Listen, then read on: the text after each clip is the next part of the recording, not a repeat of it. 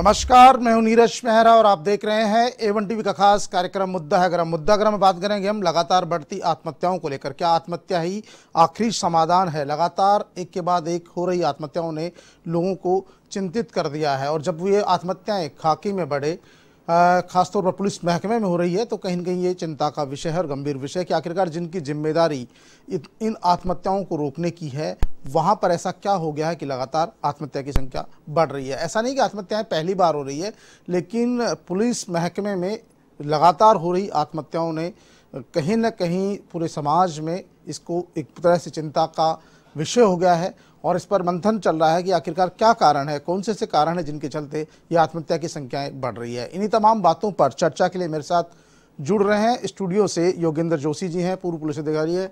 योगेंद्र जी, आपका बहुत बहुत स्वागत है।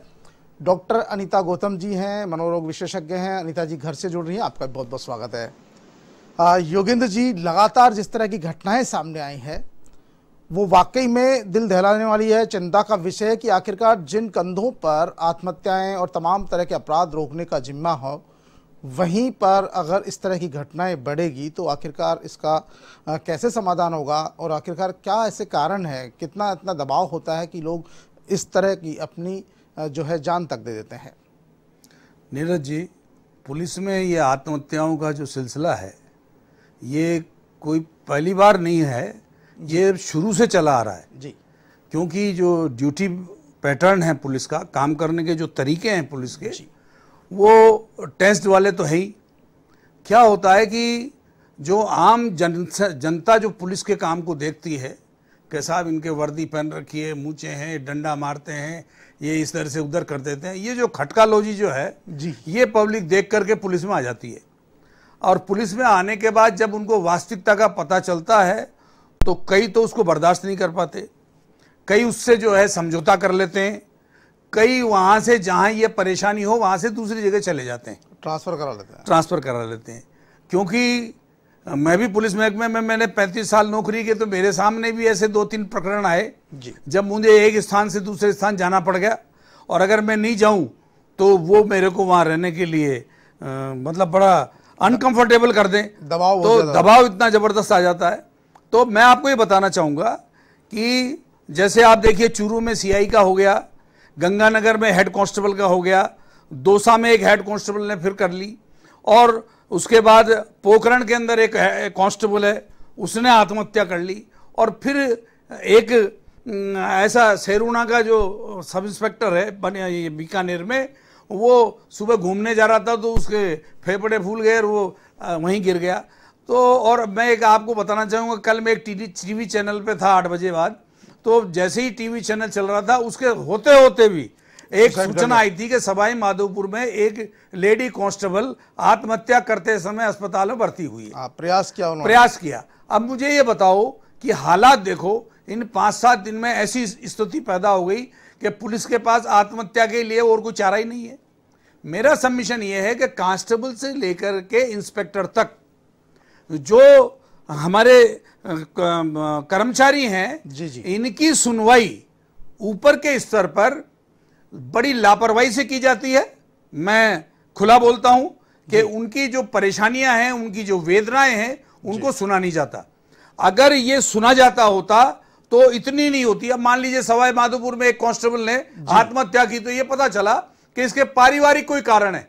अरे भाई पारिवारिक कारण है तो पुलिस जो बनी है वो इसीलिए तो बनी है उसका भी समाधान हो सकता है। किसी के पारिवारिक कारण को देखें किसी के अगर पड़ोसियों का कारण तो उसको देखें किसी के गाँव का कारण तो उसको देखें। मैं ये बताना चाहूँगा कि छुट्टियों का एक रिवाज हमारे यहाँ क्या होता है गाँव का पुलिस वाला है वो शहर में नौकरी करता है शहर का उसको उसको उसको गाँव में परेशानी रहती है। ज़मीन जायदाद पड़ोसी कई सारे झंझट रहते हैं। उसको जब छुट्टी चाहिए होती है तो यहाँ छुट्टी नहीं मिलती। और वो जब छुट्टी नहीं जाता है तो उसके दिमाग के अंदर जो टेंशन पैदा होता है उसको वो रिलीज़ कहाँ करे? वो मैं एक बात बता देना चाहता हूँ मैं जब ट्रैफ़िक में था तो रामबाग सर्किल के ऊपर एक कांस्टेबल मोटरसाइकिल पे सुस्त बैठा हुआ। मैं आया भाई तू नौकरी क्यों नहीं कर रहा? तू सुस्त क्यों बैठा है? उन्होंने कहा साहब मेरे को छुट्टी चाहिए। तो मैंने कहा छुट्टी चाहिए? तो जाओ तुम छुट्टी। कह नहीं साहब वहाँ छुट्टी नहीं मिलती है। दो दिन की देते दो दिन से काम नहीं चलेगा। मैंने जाओ अब तुम देखो अभी कितनी छुट्टी मिलती है। मैं कहता हूँ अभी जाओ। वो हेड वो कांस्टेबल वहाँ गया उसको छुट्टी तुरंत मिली। वो पाँच दिन बाद आया। आने के बाद देखो तो चौराहे पे नौकरी कर रहा है मैंने क्या बात हो गई थी? कि साहब घर में गाँव में ज़मीन का झगड़ा था और मैं चिंतित था मेरे बच्चे वहाँ रहते हैं। अब आप बताइए उसके टेंशन कितना था कि वो एक मोटरसाइकिल पे बैठा हुआ था? जी बिल्कुल। ये इस प्रकार की जो परेशानियाँ हैं ये छुट्टी से संबंधित परेशानियाँ बड़ी ज़बरदस्त है। फिर आप देख लीजिए कि न्यू आ, आ, मतलब ड्यूटी से संबंधित। अब आप 12 घंटे की ड्यूटी 24 घंटे की ड्यूटी। ड्यूटी का कोई समय नहीं है। पुलिस लाइन में जो कांस्टेबल रहते हैं उनको बिला वजह रोकर रहते हैं कि तुम्हारी 24 घंटे की नौकरी तुम रुके रहो। अरे भाई तुम अगर ड्यूटी नहीं है तो तुम जाने दो और जब ज़रूरत हो तो आने दीजिए। लेकिन क्या करते हैं ड्यूटी आवर्स निश्चित नहीं है। उनके अवकाश के जो रीजंस है उन पर ध्यान नहीं दिया जाता है। फिर तीसरी जो आवश्यक बात है वो है 16 और 17 के नोटिस जी। हमारे पुलिस विभाग में सुबह नाश्ते की तरह 16 और 17 के नोटिस परोसे जाते हैं। बिल्कुल योगेंद्र जी आपको रोकना चाहूँगा। मैं हाँ, चलते सीधे अनिता जी के पास। अनिता जी बड़े कारण बताए हैं इन्होंने और उनका कहना है कि कहीं न कहीं सुनवाई नहीं होती है महकमे में। और जब सुनवाई नहीं होती है मानसिक रूप से दबाव होता है कहीं परिवार का दबाव होता है कहीं ऑफ़िस का दबाव होता है और इनके चलते ही यही तमाम कारण है जो कहीं न कहीं आत्महत्या की ओर धकेलते हैं। अनिता जी क्या कहना चाहेंगी आप तमाम विषय पर और क्या सलाह देनी चाहेंगी कि आखिरकार किस तरह से बचा जा हाँ, सर सके ने कहा कहा कि बहुत सारे कारण होते हैं। हम दो चीज़ों को समझे। वो व्यक्ति पुलिस में आया है। पुलिस एक इमरजेंसी सर्विस है जिसके लिए जो भी पुलिस वाला है जो भी पुलिस में आया है काम करने के लिए उसका एक माइंडसेट होता है कि मैं पुलिस में आया हूँ। मुझे 24 घंटे की ड्यूटी पे रहना है। पर आप इस चीज़ को देखना होगा कि वो व्यक्ति एक इंसान भी है। इंसान के अपने कुछ बाउंडेशंस होती है कुछ लिमिटेशंस होती है कुछ इमोशंस होते हैं। वो पुलिस वाला है पर इंसान है ह्यूमन बीइंग है उसके इमोशंस है घर है परिवार है टेंशन है स्ट्रेस है सारी चीज़ है जैसा सर ने कहा है। वो एक चीज़ को अपने परिवार को अपने घर को अपने दोस्तों को अलग रखकर ड्यूटी करता है पर वो चीज़ उसके दिमाग में रहती है कि मुझे अपने घर को भी देखना है परिवार को भी देखना है एक टेंशन हमेशा रहता है। तो सबसे मुख्यतः जो कारण है वो है एक स्ट्रेस हम उस स्ट्रेस को कैसे हैंडल करते हैं? हमने पुलिस में सर्विस तो दी है आ, उनको ट्रेनिंग के दौरान इस चीज़ के लिए भी सिखाया जाता है कि किस तरह आप अपने मानसिक जो स्ट्रेस होता है उसको किस तरीके से वेंटिलेट करें किस तरीके से आप स्ट्रांग रहे इमोशनली कितना स्ट्रांग रहे। पर कहीं ना कहीं ये ट्रेनिंग टाइम टू टाइम वापस होनी चाहिए ताकि दोबारा उन लोगों को उन लोगों को मानसिक रूप से सशक्त कर सके। दूसरी चीज़ है अभी हमने ये केसेस क्यों ज़्यादा देखे? क्योंकि स्ट्रेस जो चीज़ आप बता रहे हैं कि अवकाश नहीं है ड्यूटी ज़्यादा हो रही है लोग घर नहीं जा पा रहे जैसा कि अभी सर ने बताया ये तो काफ़ी समय से ऐसी स्थिति बनी हुई है। पर जब हम देख रहे हैं कि इन दस बारह दिनों में एक साथ पुलिस वालों ने एक एक करके जो हमारे पास सुसाइड के केसेस आ रहे हैं वो क्यों आ रहे हैं? हो सकता है कोरोना लॉकडाउन ये भी एक बहुत बड़ी वजह है क्योंकि ये एक इमरजेंसी सर्विस है जो लॉकडाउन नहीं हुई है। कंटिन्यूसली काम कर रहे हैं पुलिस जो हमारे पुलिस महकमे में जो हमारे साथी हैं वो लगातार काम कर रहे हैं। तो कहीं ना कहीं स्ट्रेस बहुत ज़्यादा है। सिर्फ़ पुलिस का ही काम नहीं बाकी जन सेवा का काम भी वो लोग कर रहे हैं कि कहीं पे खाना पहुंचाना है कहीं पे लोगों को मजदूरों को सही सलामत पहुंचाना है या फिर कोई भी सुविधा पहुंचानी है। इसके अलावा कई बार उनको लोगों का आक्रोश भी झेलना पड़ता है तो कहीं ना कहीं मन में आ जाता है कि हम इनकी ही सेवा कर रहे हैं और इन्हीं की तरफ़ से हमें भी पत्थर मिल रहे हैं। हम अपने घर परिवार को भी नहीं देख पा रहे। ये इन्फेक्शन ऐसा है कि अगर हम बाहर खड़े हैं हम किसी को टच भी नहीं कर रहे हैं बिना टच किए भी ये इन्फेक्शन हमें हो सकता है। वो एक बहुत बड़ा डर है बहुत बड़ा पैनिक का कारण है कि कहीं ये इन्फेक्शन हमारे ज़रिए हमारे परिवार में तो नहीं फैल जाएगा। जैसा कि अभी आजकल केसेस आ रहे हैं कि जो लोग बाहर से आए, उनके अलावा कम्युनिटी के अंदर कोरोना फैल गया है, पुलिस कर्मी इसकी चपेट में आ रहे हैं डॉक्टर्स इनकी चपेट में आ रहे हैं तो वो एक डर भी बहुत ज़्यादा बढ़ा हुआ है। तो कहीं ना कहीं बहुत सारा स्ट्रेस जब स्ट्रेस इतना ज़्यादा बढ़ जाता है कि इंसान उसको झेल नहीं पाता या उसको किस तरीके से निकाले वेंटिलेट आउट करे, वो तरीका समझ नहीं पाता है तो कहीं ना कहीं इमोशनल बर्स्ट आउट हो जाता है, उसको आगे रास्ता नहीं दिखाई देता है कि मैं क्या करूँ। और सुसाइड उसको एक आसान तरीका लगता है कि मैं अपनी ज़िंदगी से अब आगे खुश नहीं हूँ आगे कुछ नहीं कर पाऊँगा। मेरी वजह से गिल्ट उसके अंदर आ जाता है सेल्फ गिल्ट तो आपको लगता है समय समय पर आपको लगता है समय समय पर इनको जानकारी दी जाए स्ट्रेस दूर करने के बारे में ट्रेनिंग दी जाए तो शायद ये स्ट्रेस कम हो सकता है क्योंकि जिस तरह के मामले बड़े हैं क्योंकि पुलिस का महकमा ही ऐसा है जहाँ पर दबाव में ही काम होता सारा। और हाँ, पुलिस हम की किस तरीके से कम कर सकते हैं किस तरीके से खुश रह सकते हैं क्या क्या तरीके हैं कि हम तनाव की स्थिति में भी काम करें। क्योंकि पुलिस हमेशा तनाव का ही काम है आपको चोर के पीछे भागना है आपको गुंडों से लड़ना है आपको नेगेटिव लोगों से मिलना है नेगेटिविटी चारों तरफ़ रहती है। आ, आपको बुरे लोगों से डील करना होता है तो कहीं ना कहीं वो सब चीज़ें भी आपके माइंड को अफेक्ट करती है। तो बात है कि हम स्ट्रेस को किस तरीके से कम करें, उससे ज़्यादा ज़रूरी है कि हम स्ट्रेस को कैसे डील करें। हमको इसकी ट्रेनिंग भी टाइम टू टाइम उन लोगों को देनी चाहिए। बिल्कुल अनिता जी, आपसे फिर बात करेंगे जानेंगे योगेंद्र जोशी जी से। जोशी क्योंकि जब ये कह रहे हैं कि जो कोरोना का जो काल आया, संक्रमण काल, इसमें दोहरा दबाव हो गया। पहले से जो दबाव चल रहे थे, वो तो थे ही स्ट्रेस था ही। लेकिन अब लगा कि क्या होगा? और बहुत सारे लोग इसको झेल नहीं पाए, और उन्होंने फिर लगा कि उनको लगता है कि यही सब आखिरी रास्ता है लेकिन ये रास्ता नहीं है आखिरी। ये ये कोई तरीका भी नहीं है क्योंकि उनसे बहुत लोगों को उम्मीद है परिवार को उम्मीद होती है महकमे को उम्मीद होती है समाज को तमाम लोगों को उम्मीद होती है क्योंकि वो एक तरह से वो रक्षक है। और यदि वही आत्मघात का कदम उठाएँगे तो फिर दुनिया क्या सीखेगी? देखिए नीरज जी जी। काम के करने से कोई आत्महत्या नहीं करता। जी। और जितना काम पुलिस में पुलिस वाले को मिलता है वो सहर्ष उस काम को करता है। आप देखें कि जगह जगह पूरे इंडिया में पुलिस वालों को मालाएँ पहनाई पहनाई गई पुलिस वालों का आदर सत्कार किया गया बैंड बाजों से किया गया। ये तो मेरे ख्याल से अगर वो डकैत और चोरों को पकड़ते तब भी उनको कोई सम्मान नहीं देता।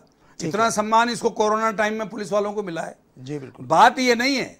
बात यह है कि काम करते काम करने के बाद भी अगर किसी पुलिस कर्मचारी को ओलना उबालना मिल जाए अगर उसकी आलोचना हो जाए अगर उसको कहे ये निकम्मा निकृष्ट है कोई इस तरह की बात अगर पुलिस विभाग में उसके प्रति बन जाए कोई व्यक्ति उसको इस तरह की चीज़ कह दे और काम करते करते भी उसका टोका टाकी कर दे तो नेचुरल है उसके दिमाग के अंदर ये बात आती है। लेकिन मैं ये मानता हूँ कि ये जितनी भी आत्महत्याएँ हुई है ये कोरोना के काम या पुलिस के काम को करने से इस तरह की हत्याएँ नहीं होती हैं। जी। ये होती हैं जो पुलिस के कर्मचारी के परिवार के कोई मसले हों। अब मैं आपको बताना चाहूँगा कि पुलिस के कर्मचारी की गाँव में अगर कोई व्यवधान है तो उसको जानते हैं कि ये इस गाँव का कर्मचारी है वो वहाँ गाँव में जाता है पुलिस थाने में रिपोर्ट करता है लेकिन पुलिस थाने वाले भी उसकी सहयोग नहीं करते हैं ये आप बिल्कुल दिमाग में से निकाल दीजिए कि पुलिस थाने वाले पुलिस वाले की कोई हेल्प करते हो बिल्कुल। बेचारा उनसे प्रताड़ित रहता है कि मेरे परिवार के साथ इस तरह का हो गया और वहाँ के थाने वाले मेरी मदद नहीं कर रहे हैं। और वो जब यहाँ यहाँ शिकायत करता है तो यहाँ के अफसर उसकी सुनवाई नहीं करते। बिल्कुल सही कहा जोशी जी आपने। बिल्कुल कहीं ना कहीं सुनवाई नहीं होती है। और जब सुनवाई नहीं होती तो इस तरह के कदम उठाता है। जिस तरह से खाकी में लगातार आत्महत्याएँ बढ़ रही है चिंता का विषय है। योगेंद्र जी आपने कहा कहीं ना कहीं दबाव होता है। पुलिस वाले भी उनका काम नहीं करते हैं अधिकारी सुनते नहीं है। आखिरकार ऐसा क्यों है? क्या कारण है? क्योंकि सबके लिए नियमावली बने हैं, नियम कायदे बने हुए अवकाश के लिए भी, ड्यूटी के लिए भी। फिर पुलिस महकमे में इस तरह का ज़्यादा दबाव क्यों रहता है? देखिए, नियम बने हुए हैं, लेकिन उसके ऊपर हिकमत अमली का एक नियम है, जो पुलिस अधिकारियों को मिला हुआ है। अगर वो कहते हैं, साहब, आज व्यस्तता है, आज ये जुलूस निकल रहा है प्रदर्शन, इनकी छुट्टियाँ नहीं मिलेगी, साहब, छुट्टियों पर रोक लगा दी गई है। इस प्रकार की चीज़ें होती रहती हैं। और उस कांस्टेबल को उसकी जो दी हुई छुट्टियाँ हैं, वो भी उसको समय पर नहीं मिलती। वो परेशान रहता है उसके लिए वो दस दस बार सैल्यूट देता रहता है लेकिन उसकी सुनते नहीं है। साथ ही मैं जो आपको बता रहा था कि पुलिस महकमे में पुलिस को कंट्रोल करने के लिए 16 और 17 सीसीए के जो नियम बने हुए हैं जी। उन नियमों की जो नियमावली है उसके अंतर्गत उनके विरुद्ध कार्रवाई नहीं होती। उसमें भी पुलिस के अधिकारी अपनी दादागिरी करते हैं और इतनी दादागिरी करते हैं कि अगर एक व्यक्ति को सत्रह का नोटिस दिया है तो उसका जो जवाब लेते हैं जवाब देने के बाद में वो अधिकारी उसका जवाब दे रहा है। लेकिन वो कहेंगे कि नहीं ये जवाब संतोषप्रद नहीं है इसमें तुम ये भी कर सकते थे। मतलब जो नोटिस के अंदर जो शिकायतें की गई हैं जो आरोप लगाए गए हैं उस आरोप के अलावा दूसरे आरोप का दे देंगे सजा। इसी प्रकार से क्या है सोलह का अगर नोटिस दे देंगे तो डी खोल देते हैं। अब उसके अंदर क्या स्थिति है साहब? देखिए आप कि एक अधिकारी ये मामला है झुंझुनू का। जी। जहाँ पर एक अधिकारी ने शराब बेचने वाले को पकड़ा। जी। उसको पकड़ के चालान पेश किया। लेकिन उसको उस अधिकार उस उस जाँच को जिसमें उसके खिलाफ ये किया गया है उसको दोबारा उसका अनुसंधान करवाया गया और उसमें एफआर लगाई। एफआर लगाकर उस थानदार के सिपाही के खिलाफ कार्रवाई चालू कर दी। अब आप देखिए जब वो एफ़ अदालत में पेश होती है तो उसमें क्या होता है कि कॉग्निजेंस लिया जाता है। किसके खिलाफ? मुलजिम के खिलाफ। और वो अपील में जाता है डीजे कोर्ट में वहाँ भी उसकी खारिज हो जाती है। फिर भी उस सब इंस्पेक्टर और कांस्टेबल को रिलीफ नहीं है। वो ये कह रहा है कि अदालत ने उसको मुलजिम ठहराया है वो उसके खिलाफ और आप मेरे को इससे बरी करो। बोले नहीं तुम्हारी क्रिया अलग न्यायालय की क्रिया अलग। मैं ये कहता हूँ ये अर्ध न्यायिक क्रिया कहलाती है। आप कैसे कर रहे हैं? जब न्यायपालिका किसी को अपराधी मान रही है तो आप उस व्यक्ति को जिसने उस अपराधी के खिलाफ कार्रवाई की है आप उसको रिलीफ नहीं देंगे? जी। इसी तरह से क्या है अगर मान लीजिए किसी को एक कांस्टेबल भूखा आया आके लाइन में कहा भाई मुझे रोटी चाहिए। अब उस हेड कांस्टेबल ने कहा भाई अब रोटी वोटी नहीं है। उसने हेड कांस्टेबल ने रोज नाम से मेरे पर डलाई कि भाई इसने मेरे साथ अभद्र व्यवहार किया उसको दूर सत्रह का नोटिस। अरे साहब ये ऐसे देते हैं इनका कोई भी मापदंड नहीं है। इन सत्रह के और सोलह के नोटिस का। और ये और मेरे को जानकारी में है जी। कि जो अधिकारी अपने अधीनस्थ कर्मचारियों को सोलह सत्रह के नोटिस नहीं देता तो ऊपर के अधिकारी उसको थोड़ा कमज़ोर समझते हैं कि इसने जो है अपने अधीनस्थ कर्मचारियों के खिलाफ अच्छी कार्रवाई नहीं की जबकि इसको करना बात कि जो अधिकारी कहीं नोटिस नहीं देता है उसको कमज़ोर अधिकारी माना जाता है। अनिता जी आपने सुना किस तरह से योगेंद्र जी ने बताया कि इस दबाव बहुत ज़्यादा रहता है। कहीं ना कहीं ड्यूटी का तो है ही। ड्यूटी के बाद में जो नोटिसों के नोटिस पे नोटिस मिलते हैं, वो दबाव भी एक बहुत बड़ा कारक बनता है इसका। और महकमे में होने के बावजूद, यदि परिवार में कोई विपदा आ जाए और वो संबंधित थाने में जाए तो संबंधित थाने में भी पुलिस वाले होकर भी पुलिस वाले की सुनवाई नहीं करते। तो कहीं ना कहीं मानसिक रूप से दबाव बढ़ता है मेरे से। बहुत ज़्यादा। जैसा कि अभी सर ने कहा है कि एक जहाँ पे आप काम कर रहे हैं, वहाँ पे आपको काम का स्ट्रेस है। क्योंकि जो जूनियर है, उसको ये स्ट्रेस है कि कभी भी मुझे नोटिस मिल जाएगा। जो सीनियर है उस पर ये स्ट्रेस है कि अगर मैंने अपने जूनियर्स के ऊपर कोई नोटिस नहीं दिया तो ऊपर से मेरे ऊपर ऑर्डर आ जाएँगे या फिर मेरे को एक केपेबल इंसान नहीं समझा जाएगा। तो उसको ना चाहते हुए भी ज़बरदस्ती कई बार नोटिस देना पड़ता है। तो ये एक दोहरा उनके ऊपर स्ट्रेस होता है। बाहर का काम लोगों से मिलना नेगेटिव लोगों से ज़्यादा मिलना, क्योंकि ये जो डील करते हैं, वो चोर से डील करते हैं, या फिर जो असामाजिक तत्व है, उनसे डील करते हैं तो वो नेगेटिविटी उनके चारों तरफ़ वैसे ही रहती है, जो उनके कलीग्स है, उनसे भी अगर वो पॉजिटिव वाइब्स नहीं लेते या कोई सकारात्मक चीज़ें उनसे नहीं मिलती, अपने सीनियर्स से उनको कोई एक मोटिवेशन नहीं मिलता है अच्छा व्यवहार नहीं मिलता है तो कहीं ना कहीं स्ट्रेस बहुत ज़्यादा बढ़ जाता है। घर का, हर परिवार का, हर इंसान का एक अपना स्ट्रेस होता ही है। सभी घरों में कोई ना कोई चीज़ रहती है जो परेशान रहते हैं। हर किसी को खाने का है, किसी के ज़मीन के है, किसी के घर के है, किसी की बेटी की शादी है। ये जो कारण हमारे समाज के, वो तो वहीं पे है उनको तो हमें डील करना ही होता है। तो ये सब चीज़ मिला के इंसान के ऊपर स्ट्रेस बहुत ज़्यादा बढ़ा देता है। और जब इतना स्ट्रेस बढ़ता है तो हमारे दिमाग के अंदर रसायनों का परिवर्तन हो जाता है व्यक्ति डिप्रेशन में चला जाता है और डिप्रेशन इस कदर तक बढ़ जाता है कि उसको उससे उबरने का कोई रास्ता नज़र नहीं आता है कि अब आगे मैं जी के क्या करूँगा। और इतना ज़्यादा डिप्रेशन सुसाइड के लिए उसके अंदर आत्मघाती विचार आते हैं। इसमें मैं एक स्पेशली एक चीज़ कहना चाहूँगी कि सुसाइड व्यक्ति एकदम से नहीं करता। इट इज़ नॉट इम्पल्स ज़्यादातर केसेस के अंदर ये विचार व्यक्ति के दिमाग में घूमते रहते हैं। और वो कई बार अपने मन से अपने मुँह से वो चीज़ बोलता है। आपके कलीग्स या फिर आपके फ्रेंड्स या फिर आपके परिवार वाला अगर कोई इस तरीके से कह रहा है कि मुझे आजकल अच्छा नहीं लग रहा ऐसी ज़िंदगी से तो मौत अच्छी है। या फिर वो जिस जिन चीज़ों के अंदर पहले रुचि लेता था अब रुचि नहीं ले रहा है। लोगों से मिलना जुलना उसने कम कर दिया बात कम करता है अकेले अकेले ज़्यादा रहता है। या बहुत ही नकारात्मक विचार रहते हैं खुद को मरने के आत्मघाती विचार ज़्यादा आते हैं। तो प्लीज़ हेल्प प्रोफेशनल हेल्प लीजिए उसको डॉक्टर को दिखाइए। ये नहीं कि संभल जाएगा थोड़ा सा सो लेगा तो ठीक हो जाएगा। अगर हम इलाज से संभव है? कोई थेरेपी इलाज कुछ है इसका जिससे कि वो उसका नकारात्मकता दूर हो सके? ये वार्निंग साइंस होते हैं सुसाइड के कि इंसान सुसाइड करने से पहले अपने चाहने वालों को अपने परिवार में कई बार ये वार्निंग साइंस देता है कि मेरे को अच्छा नहीं लग रहा है या मेरे को अपनी ज़िंदगी अच्छी नहीं लग रही खत्म करने की कई बार जो सुसाइड अटेम्प्ट होते हैं कि आ, कुछ चाकू से निशान कर लेना या फिर कुछ पी लेना या फिर आत्महत्या की कोशिश कर लेना ये सब वार्निंग साइंस होते हैं हमें इनको देखना चाहिए या फिर जैसा कि मैंने अभी बताया कि लोगों से कम बात करना बार बार नकारात्मक बातें करना नेगेटिव बातें करना खुद को खत्म करने की बातें करना अगर आपके परिवार में कलीग या फिर आपके आसपास अगर ऐसा कोई कहता है तो प्लीज़ उसको हेल्प की ज़रूरत है। देखिए 90 80 परसेंट केसेस के अंदर व्यक्ति मरना नहीं चाहता। जो सुसाइड अटेम्प्ट करते हैं 80 परसेंट केसेस में वो मरना नहीं चाहते। That is a cry for help वो हेल्प जाते हैं वो चाहते हैं कि लोग उनकी मदद करें। तो एक बहुत बहुत हम जब अवेयर रहेंगे इस चीज़ के बारे में समझेंगे तो कहीं ना कहीं हम अपने प्रियजनों की जान बचा सकते हैं। सुसाइड जैसी स्थिति आने से पहले ही हम उसको उनको वापस मुख्य धारा में जोड़ सकते हैं। वो जो डिप्रेशन की स्थिति बनती है हम उसको भी कम कर सकते हैं। ज़रूरत है सही सोच की आप अवेयर रहे कि कहीं आपके परिवार में ऐसा कुछ नहीं हो रहा है और सवाल है। के न केवल पुलिस महकमे में, बल्कि सामान्य जीवन में भी देखा जाए तो बहुत सारे कई परिवारों के केस सामने आए जिनमें पूरे के पूरे परिवार ने सुसाइड कर लिया, बच्चे भी सुसाइड कर रहे हैं। ऐसी स्थिति में किस तरह से बचा जा सकता है कि वो परिवार, वो बच्चे इस तरफ़ नहीं जाए?